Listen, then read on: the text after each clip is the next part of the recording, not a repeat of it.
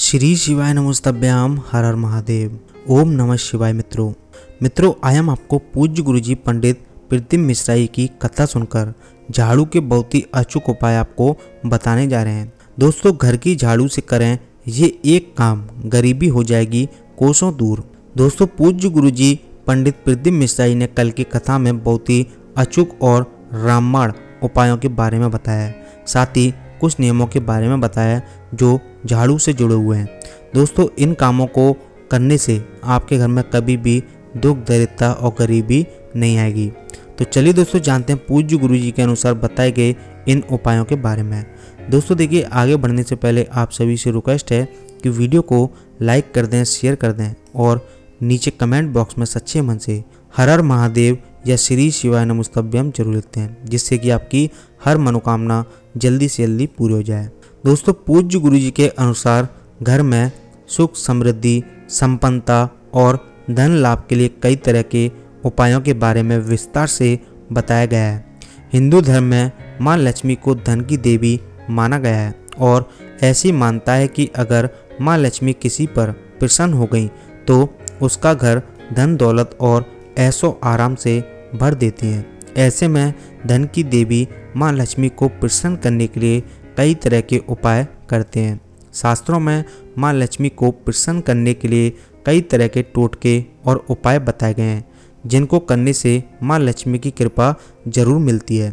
जैसे कि आपको पता है कि माँ लक्ष्मी वहीं पर वास करती हैं, जहाँ पर साफ़ सफ़ाई होती है। माँ लक्ष्मी को झाड़ू बहुत प्रिय होता है।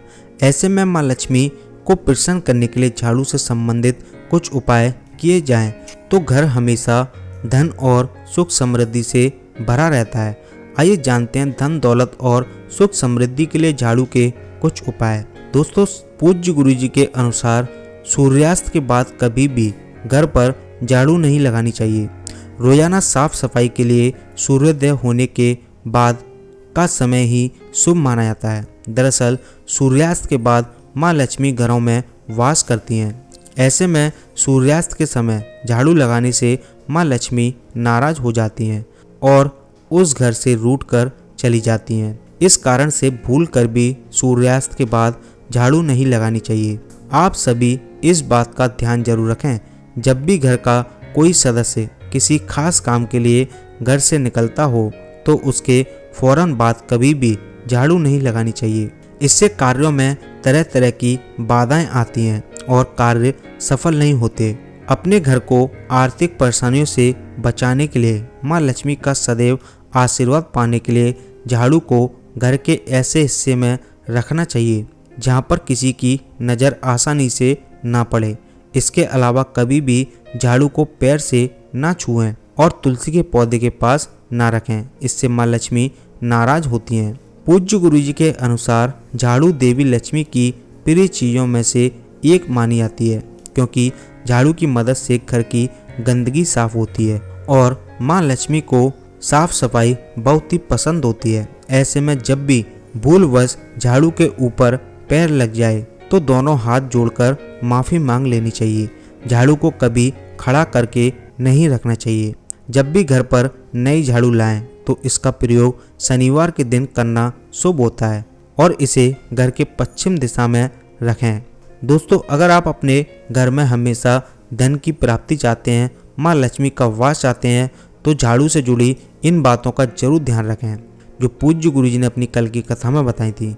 साथ ही दोस्तों, पूज्य गुरु जी के अनुसार धन की वृद्धि करने के लिए भी झाड़ू के कुछ अचूक टोटके हैं। दोस्तों, देखिए अगर आप घर में धन की वृद्धि करना चाहते हैं तो आप शुक्रवार की रात में एक लाल कपड़ा लें जो कि साफ़ सुथरा और साबुत कपड़ा होना चाहिए, कहीं से भी फटा हुआ कपड़ा ना हो। अब उस कपड़े को अपने घर की पश्चिम दिशा में ज़मीन पर बिछा लें। फिर उसके ऊपर अपनी झाड़ू को रख दें। जिस झाड़ू से आप रोज़ाना घर में झाड़ू लगाते हैं, उसी झाड़ू को आप उस कपड़े पर लिटा कर रखें। अब दोस्तों, आपको उस झाड़ू के पास थोड़े से चावल रख देने हैं और एक पीली कौड़ी रख देनी है। अगर आपके पास सफ़ेद कौड़ी है तो उसे हल्दी में रंग कर पीला कर लें। साथ में आप ग्यारह रुपये रख दें और दोस्तों एक देसी का दीपक जला दें। दीपक में लंबी वाली बाती रखनी है। जो दीपक आप जलाएँगे, वो भी आपको उसी कपड़े के ऊपर रखना है।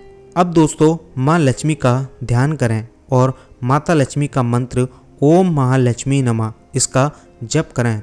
फिर झाड़ू को तीन बार अपने माथे से लगाएँ और झाड़ू को उसी कपड़े पर रख दें और रात भर के लिए इन सारी सामग्री को वहीं रखा हुआ छोड़ दें।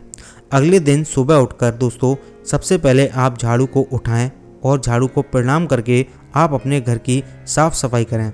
फिर जो सामग्री आपने लाल कपड़े पर रखी थी, उस सामग्री को उसी लाल कपड़े में बाँध कर आप अपने घर के तिजोरी या गले में रख दें, या फिर आप इसे अपने घर के मेन दरवाजे पर अंदर की तरफ़ बाँध सकते हैं। दोस्तों, इस उपाय को करने से घर के सदस्य तरक्की करते हैं और घर में धन की वृद्धि होती है। साथ ही घर में माँ लक्ष्मी का आशीर्वाद हमेशा सभी सदस्यों पर बना रहता है।